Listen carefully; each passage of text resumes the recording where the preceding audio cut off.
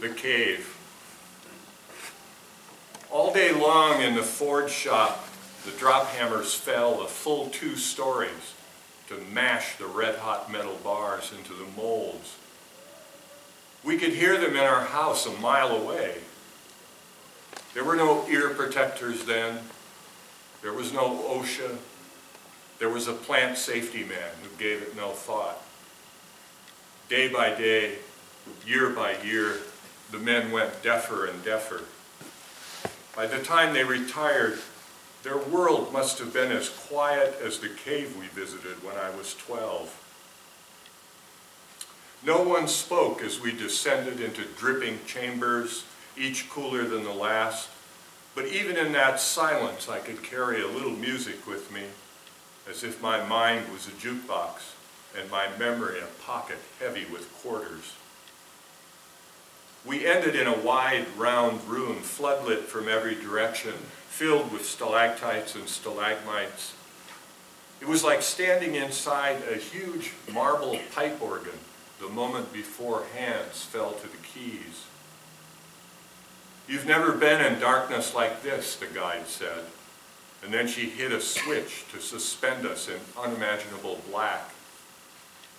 I searched myself in panic and couldn't find an image anywhere.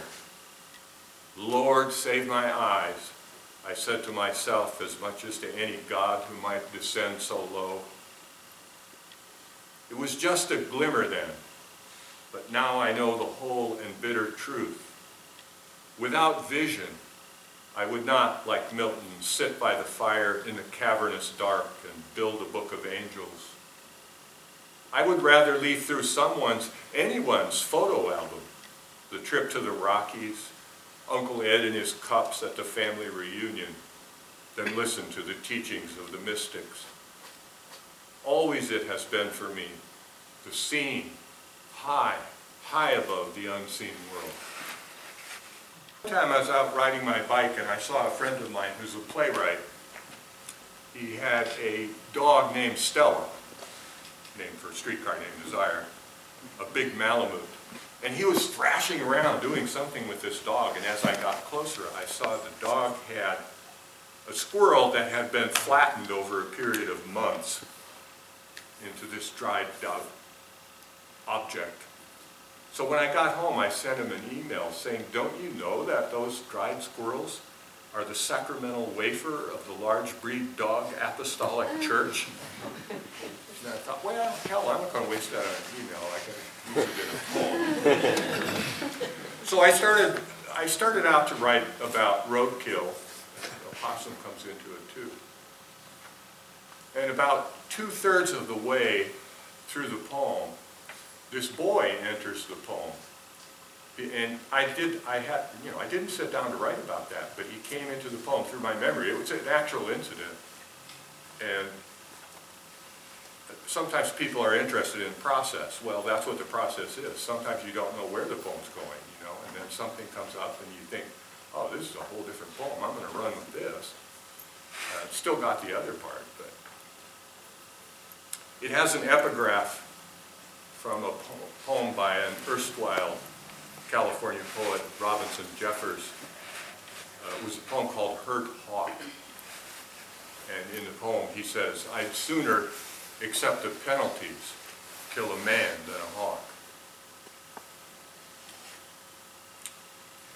The squirrels are up to their nuts in pecans, and the largesse of the trees has made them careless in their comings and goings, their carryings and buryings. Every few blocks there's one who zigged just when he should have zagged. Car compacted Sometimes their pink lungs pop out of their mouths so it looks like they've been blowing bubble gum. After a few more days of crushings, they have been transubstantiated into the sacramental wafers of the large breed dog apostolic church. I joke in the way we must joke about death or wear the rictus of the dead ourselves. But I'm sad for the squirrels. Sad too for the possum lying by the street-side oleanders for three days now. Its size startles, big as a cat and heavy-bodied. It startles too because usually they don't get hit. They'll turn toward the oncoming car, their eyes will light up like phosphorus, and the car will brake, unless the driver doesn't care, which must have happened here. The eyes on the first day were deep black discs that made me think it must still be alive, and there seemed to be little muscle ticks around the mouth, but I couldn't bear to prod it with my toe. If it was alive, I'd have to do something, and I had nothing near a plan. So I stared until I was sure it was still. It has taken these three days for the eyes to close. Or perhaps it's swelling that has made them seem to close. I've been taken to task and more than once for dwelling like this on animal death. But let me tell you a little story, a little human story. I'm going back 36 years to a night after 10, and it may even have been a night of this month because I remember sycamore leaves sidling like crabs on the street. I was walking my dog, and there was the tremolo of a screech owl, and then suddenly a terrible sound, like a cat screaming in heat, broke into the tremolo, and both the dog and I bristled because both of us knew it was not a cat sound, but a human one. Around the corner we found a boy, three or four years old, in his pajamas, howling in panic, a long way from speech. I took his hand and led him to each of the houses that were lit. That long ago, people answered their doors even at night. And finally we found a woman who knew who he was. His mother was a cocktail waitress who started her shift an hour after the father came home from his shift at the box factory. Her taillights would barely disappear before he took off for his night of drinking, leaving the boy with his eight-year-old sister. I didn't know if he had left the house awake or had sleepwalked his way out. The neighbor called the police who took him home to the frightened sister, cops at the door. What a thing for a kid to waken to. That boy would be a middle-aged man now. I often wonder what became of him. Has he gone passive, alone in the dark with a needle in his arm? Is he scratching his pimply ass in jail, harmed for doing harm?